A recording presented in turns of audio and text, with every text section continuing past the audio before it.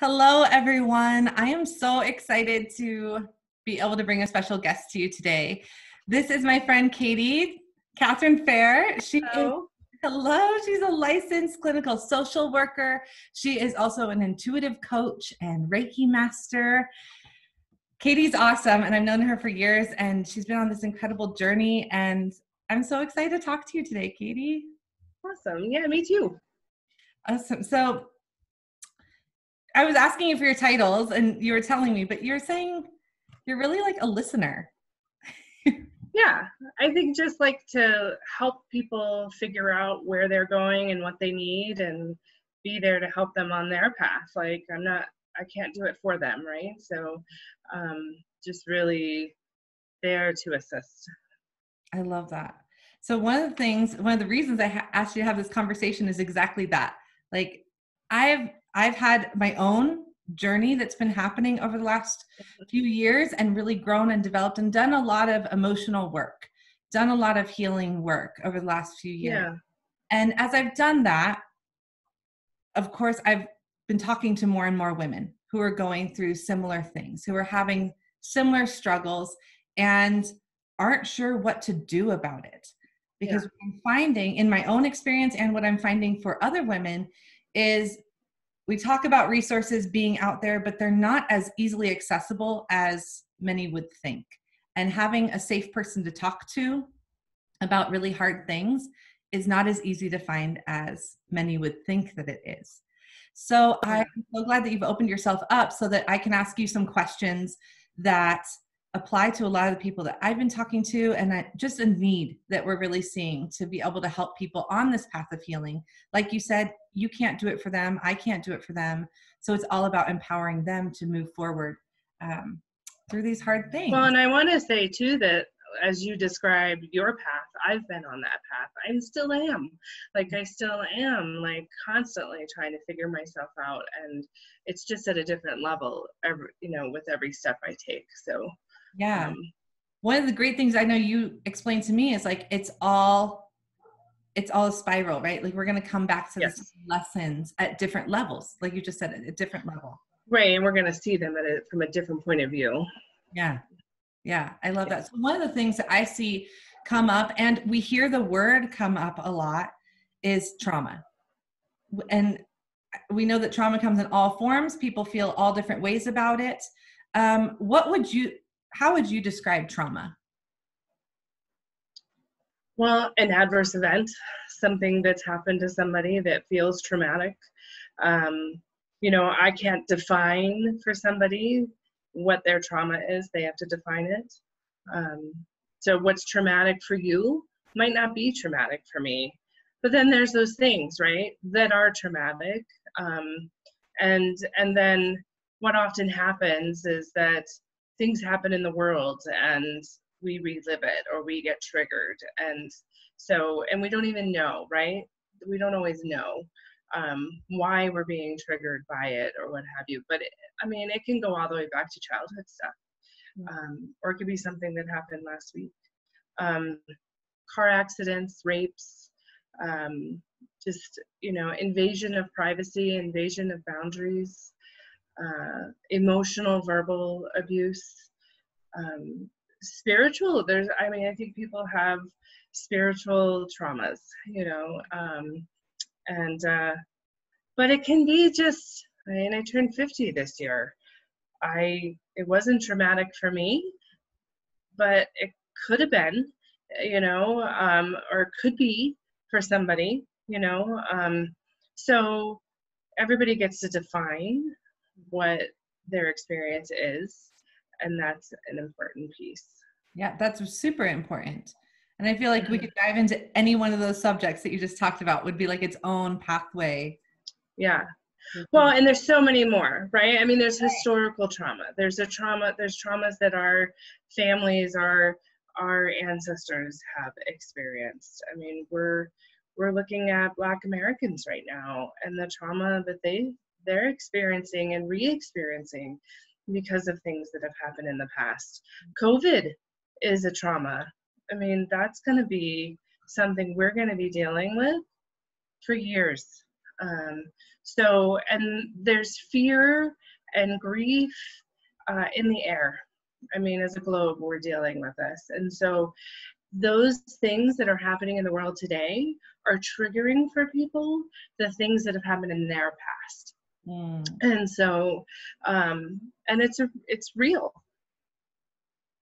Yeah. So, so what would you say, um, you know, for women who are, who are going through that, what, what tends to come up? Like if, if we have had these issues of trauma in the past, maybe repeatedly, right? There many things you're mentioning COVID. I mean, that's affecting everyone, right? And bringing up stuff from the past. How how do you see these things coming up in our life? Like, let's assume everyone has trauma or people have trauma. How are we seeing that show up?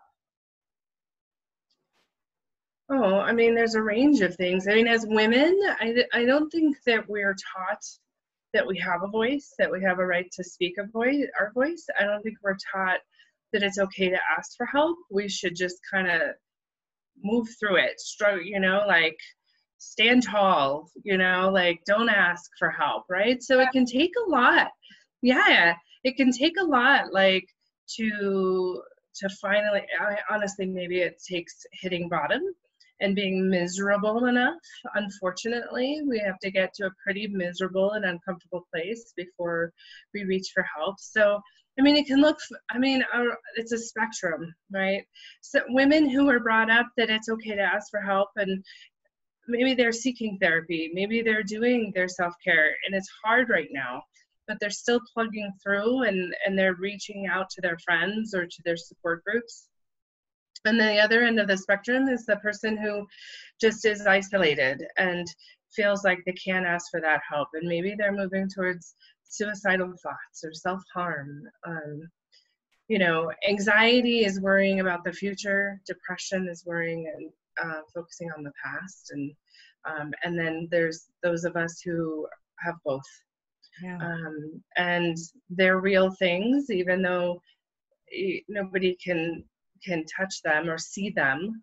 Um, and then I think as women, maybe we have this tendency to justify, right? Like, well, it's not bad enough. I have women who show up and say, I'm sorry for bothering you.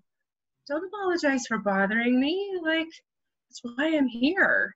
Like, come in, you know, let's talk about it. Let's look at it. Let's unpack it.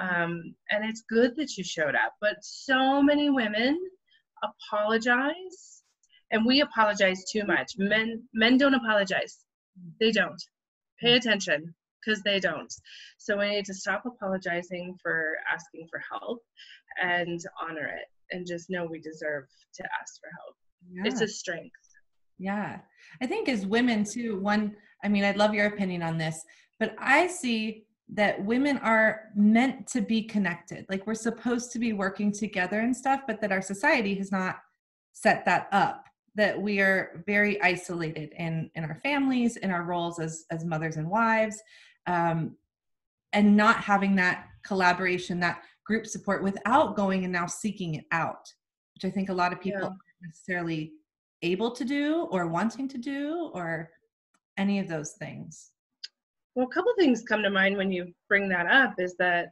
one, research has shown that women spending time together decreases our blood pressure. And so, right there, right? Healing the body, bringing the blood pressure down.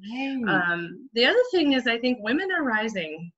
Women are coming together and we are going to be strong together. And um, so, for women who are isolated and are not finding other women, I totally encourage you to come out, you know, and and find other women because um, we all want to be together and to and and to be in community. Um, I think the other thing too, I'm a mom, I'm a wife, uh, you know, I'm a therapist, I'm a coach, I'm a daughter, I'm all, I'm a friend, I'm all these things, right? I'm a healer. Um, one of the things I've just learned in the last couple of years is that, and maybe maybe a couple years is too much. Maybe it's more a year and a half. Um, that I come first. I'm responsible to take care of my soul. I heard Elizabeth Gilbert say this on a podcast. I'm responsible for my soul, and it is taking me this long to figure out how to work it and how to use it. I'm not responsible for your soul. I'm not responsible for my husband's soul. I'm responsible for mine, and I come first. And I started putting myself first a couple years, a year and a half ago, probably, and it's made a huge difference. And people look at me like I'm crazy when I tell them this, but when I do that, I have so much more energy to give to my husband and to my kids and to my my community. Um, and I I give myself the best part of me, and then I have instead of the crumbs, right? Like we give ourselves the crumbs, and yeah. we need to stop doing that. Yeah. So there's such a stigma right of like women if you take that time or if you're not putting everyone else ahead of you and your needs then somehow you're selfish but like you're saying right. we take care of ourselves we give better we give more we're we're showing up the way that we yeah. want to show up for our family for our friends for our careers i think that that is historical trauma for women that idea that we're being selfish um, I think that's the way society used to be. It's no more. Right. Thank you. Oh, yes. I think so many of us need to hear that. Like, it's okay. It's okay to take care of your needs. It's not just okay, it's it's imperative. Yes. Yeah. Crucial. Yes. So for women who are who are ready to step out. Like you said, maybe it's rock bottom or it's just coming to a point where they're just not, they're realizing that something has to change, something has to shift. This healing needs to begin at some level. What would you say uh, ready looks like? How do you get ready for something like that? Well, I mean, I, again, I think that's different for everybody. I think it is some, uh, oftentimes it happens in crisis um, because they're just they don't know what else to do right? So often people show up to therapy in crisis. But i think also it's just a place of i've done i've done this work and now i want to challenge myself. And so i want to move to the next level. Um, you know i've done a lot of therapy and I was seeing a therapist for several years, and I, it just started to feel like conversation, not challenging me. Um, and I, it just was like as sad as it was because I love I love her. Um, you know, I mean, she's been a huge part in my healing journey. Um, but we both agreed it was time for me to stop seeing her and move on to somebody else. And so I did move on and challenge myself to some deeper um, deeper healing work, right? And so I think, and that's going to look different for everybody. Um, you know, I've done, I think body work is really important. I, you know, and for some people who aren't ready to dig in up here, it could be just doing some body work right now. It could be going out, getting yourself out every day for a 30 minute walk. That could, that might be what it is. Mm-hmm. Um, and and start really taking care of you. It could be um, reaching out to your spiritual community. It could be finding a therapist um, or a coach or doing reiki or craniosacral. I mean it could be going and floating in a flotation tank. I mean there's so many different ways. Um, eating healthy drinking water. Um, i think I have a, a one uh, client I'm working with who said, I'm just going to make my bed every day. Great. Yeah. Let's start there. So you start where you're at. Start where you're at. And and it's just going to be taking small steps. Um, but it can be helpful to have a therapist who can really help you figure out what is going on and what is it that you um, that you want to look at and why are you in this place right now? Because uh, we can't figure it out on our own. I mean i really don't think we can. Yeah. So you're you are a therapist you are a a coach. So what would it um if someone's looking at these options and looking at all the ways that they can get started on their path what would be some of the first steps in deciding you know coaching or therapy or just what are the, some of the first steps that someone would take to say i'm going to start putting me for you already mentioned so many of them going for a walk yeah. or just you know daily habits or it can be bigger like body work. Um but what would be someone's like first steps in deciding i guess? Well first i want to say like you know not we can't separate the body work from the emotional work because they are connected.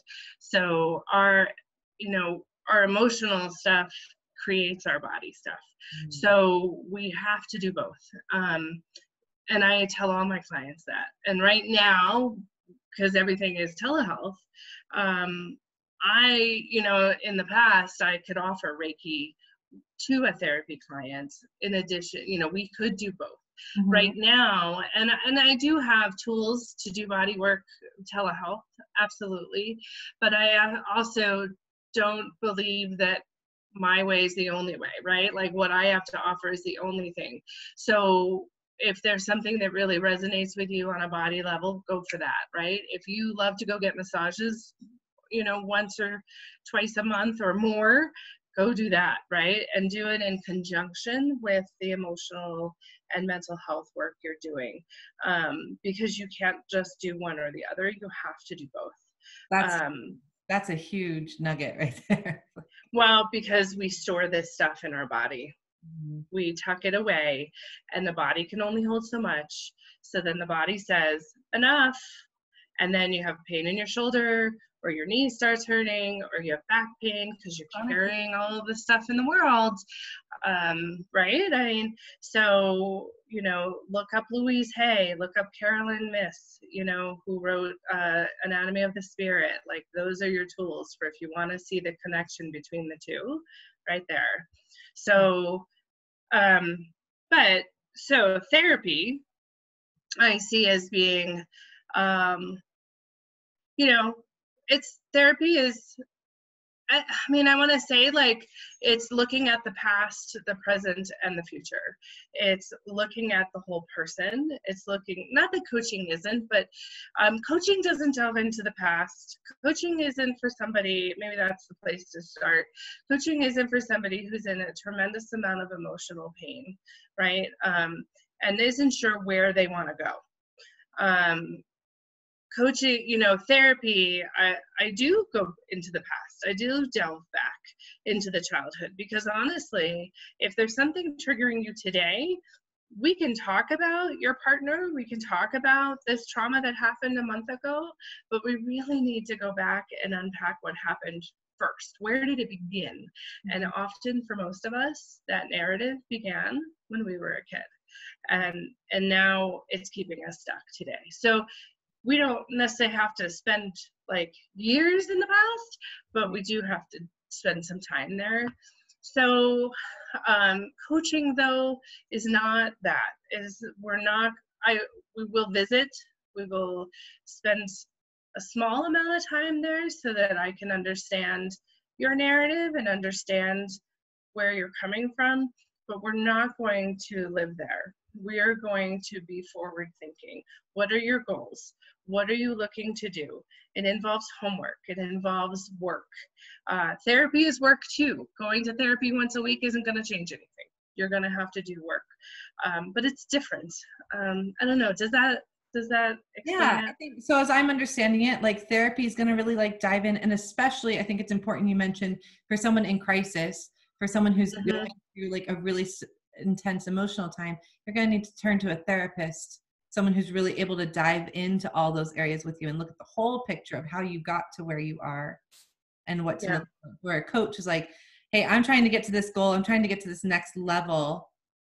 Help me help me work through that process. Is that kind of right? Yeah, but I also want to say, like, I go to a therapist who happens to also be a coach. Right. So, you know, there's weeks when I when we're talking, and I've been going every week now because of all the stuff going on in the world. Mm-hmm. I knew I needed more support right now so that I can be available to others, right? Like, if my cup isn't full, I have nothing to pour from. So but there's a way in which having her as a therapist and a coach um, is cool because the weeks I need to delve into the past, I can, and the weeks that I just need that coaching, um, that's what that's what she does. So because I'm both, I tend to have both in me. Like I will present as both, even as a therapist.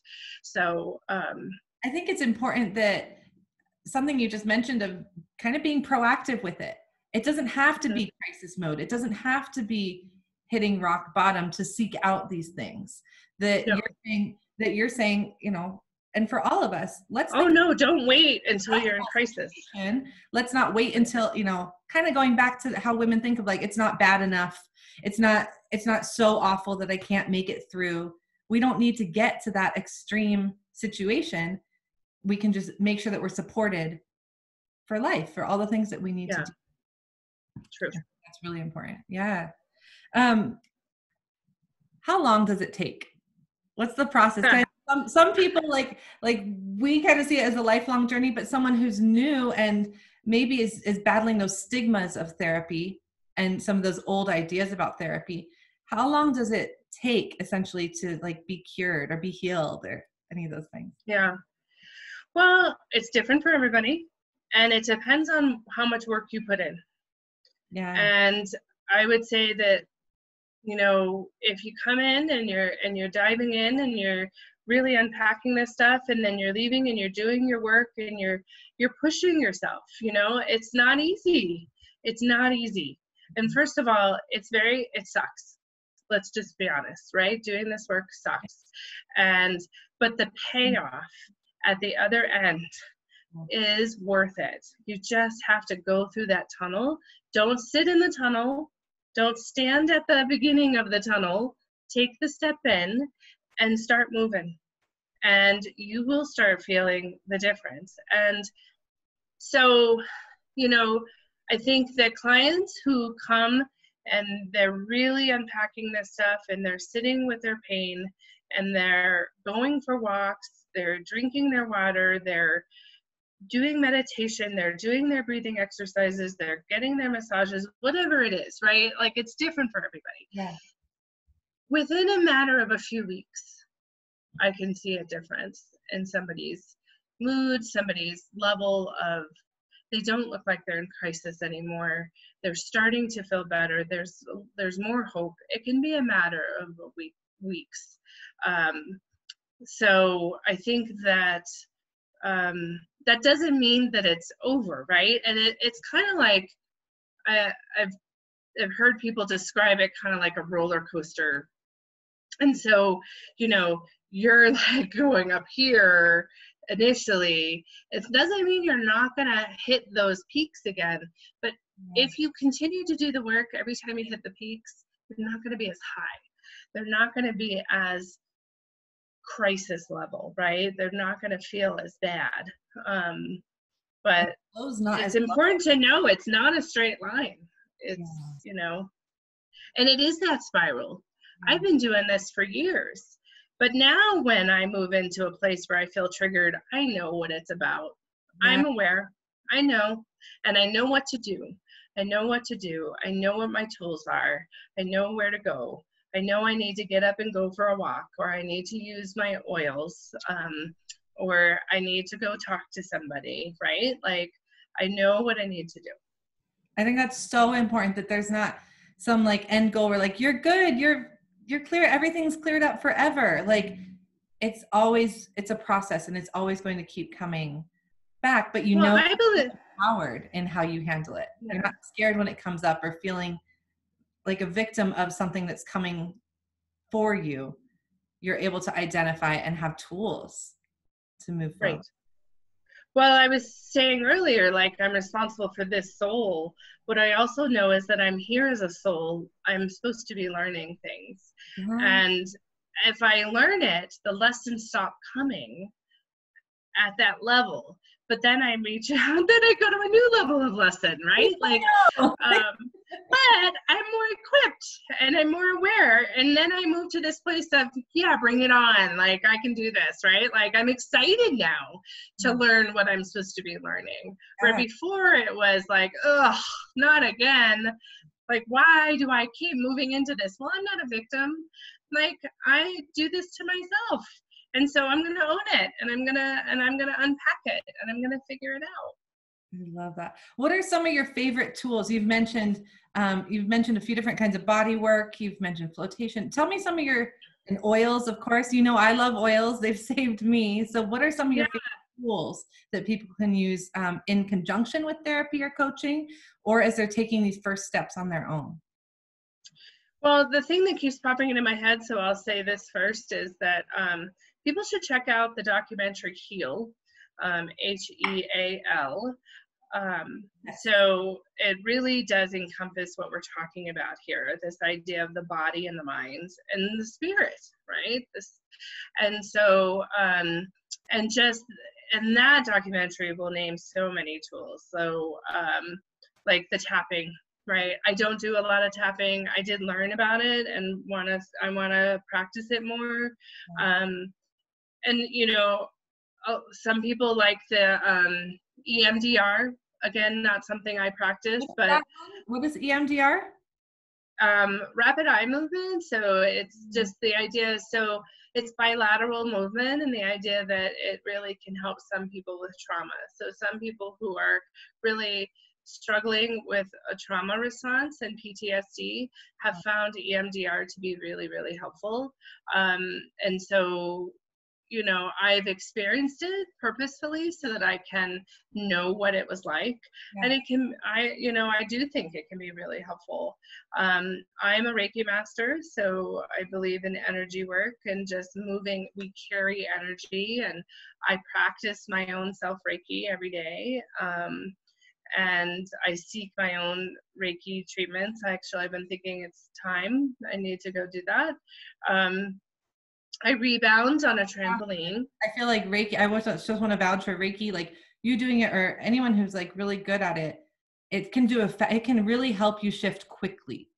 Like you can, yes. in one session, you can really open up some stuff and like feel um, feel more calm or feel more able to move forward like in one session you can really someone can help you so much with that energy work yeah and the nice thing about reiki is that um, one you you can have it done distance work so um, you don't have to be in the same room with the person um, two it can be done with touch or without so if you're somebody who's just not ready to dive into body work that involves touch. Um, then Reiki is an option. And Reiki can also involve touch, right? As a society, and even with COVID, we're not getting enough touch. Uh, we weren't getting enough touch before COVID, and we're certainly not getting enough now. So um, there are massage therapists practicing right now um, in many states, uh, including New Mexico. So um, and then like I've also done flotation therapy. I've floated in a flotation tank, and that's another great option um, for people who just don't want to be touched, right? Because you can just go float in a tank full of Epsom salt, and an hour in a flotation tank equals a eight-hour night sleep. So wow. go catch up and yeah. that energy out. So, and not all energy needs to be moved out. You know, some energy needs to be incorporated and balanced. So. Yeah yeah. Oh, I love that. Cool. Um, the and- oils, absolutely. I use the oils all the time. They're my daily practice. They carry energy. I was talking to somebody the other day about how oils are so. In, it's so interesting. If you, if you know, I talked earlier about Louise Hay or Carolyn Myss who talk about the emotional and the body piece. So if we take something like, um, you know, uh, arthritis, uh, for instance and we look at what Louise Hay says about arthritis. And then we then look up for arthritis what the oils are. And then we take the emotional, you know, I have this book right here with me, but like the emotional piece, right, for the oils, it all comes full circle, right? Like, so I think that keeping in mind again that there is an emotional connection to our physical ailments, our physical pain. Um, they are absolutely connected and we have to like I have to look at both. Yeah. I love that the oils are kind of an easy um e- easy way to open the door for people to both of those. you know like physical the physical easy but hard too right like when i started using oils it opened the door right so know that right like as you start to use the oils it is opening a door and um, don't shut it again like mm-hmm. find your resources find your community to help you like arthritis going back to that example that's i mean i talk to people about um, you know deep blue or something right like a, a pain oil but then yeah. a lot of times, what I see, and I know it happened to you and it happened to me, when you start reaching for oils for these physical ailments, they start working on that emotional level. And like you're saying, it like cracks it open and um, keep going. Like like yeah. you're keep going, take the next step. Don't shut it up again. Don't say, you know, these are too much. This is a beautiful invitation to walk through the tunnel. Right? yeah. yeah. what's on the other side yeah yeah absolutely so um i want so we want to ask you know anyone who's watching what you are what you're really going through. What do you want to know more about? Because this is just such a brief just barely skimming the surface of katie's knowledge what she has to offer and the needs that we're seeing across all all communities of women everywhere these needs that we're seeing that are really arising especially right now especially when mm-hmm. like katie's saying there's fear there's grief there's stress it's in the air. So how can we support you in moving forward and feeling confident in um, not being bogged down by stress or anxiety or depression or any of these things there's so many tools available so we want to know what are you looking for what do you need help with and how can we help guide guide you and support you or connect you with resources that are going to help you along that path. So we would love to hear your input there. And for anyone who is, you know, hearing Katie and you're like, "Yes, like this is this is what I've been looking for." Like she's saying all she's saying all the things that I've been needing to hear. Katie is an we've mentioned an incredible therapist. She's also a Reiki master. She's also an intuitive coach. So, Katie, I know you just launched your website, right? And you're ready to yeah can you tell us your website so that people can go check it out and connect with you? Yeah, so my company is called Lean In Therapeutics, and that's the website. So leanintherapeutics.com. Awesome. And Katie, so, you are in Albuquerque, New Mexico, but you mentioned you do telehealth also. So this is yes. really so. So outside of New Mexico, though, I can only do coaching. Yeah. So I'm only licensed in New Mexico. So in New Mexico, I have all the options. Um, but outside of New Mexico, I only do coaching. That's still a great option for someone to have a, a coach right there that you can meet on your phone or on your computer. That's fantastic to be able to do that. I'm so yeah. I'm so glad to know you, Katie, and I'm so glad that you're a resource. You're opening yourself up to to so many women and wanting to like make that impact because you've been there. You've been there. You've seen it. I've been there and and we know that there's people who are waiting for this. So thank you so much for offering your knowledge and your insight into this you're very welcome and, and thank you for letting me uh, do this. I think this is really cool and i think it's important yeah i really look forward to helping people and, and hearing um, and connecting with the women that we get to connect with through this journey because i know that together like you were saying women we are coming together we are getting stronger and this is the work this is the work that so many women need to do to be able to come together and rise up. And in order for other women to do it, we have to do it for ourselves. Like yours, we have to take care of ourselves and then we can help others. And when we see someone else who's going through this hard stuff, I hope that we all took something from this video at least to say, here, here, hun, like here, here, friend, like here's something that you can do. Um, I heard about this so that we can lift each other up as well yeah. because our strength really does come also from helping other people and what we get there so yeah and do the work now let's not take this this pain and and hurt and all this into future generations so let's yes. let's, uh, let's do it now. That's a whole we have to have a whole other conversation about that but just to underline i mean we have to do the work. A lot of us are mothers or aunts or you know we care about the next generation. Grandmothers? Children are not.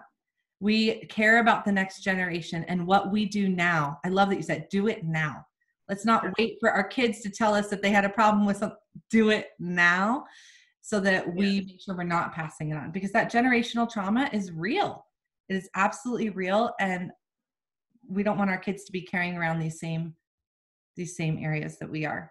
So thank you for mentioning right. Katie. So again, her website is leanintherapeutics.com and you can go there and check out all the services that Katie has and um, anything that you need. We love we love supporting you and we want to hear anything that you're looking for. If you're looking to move more in a certain area of healing, we have a ton of knowledge we'd love to share with you and support you on that journey.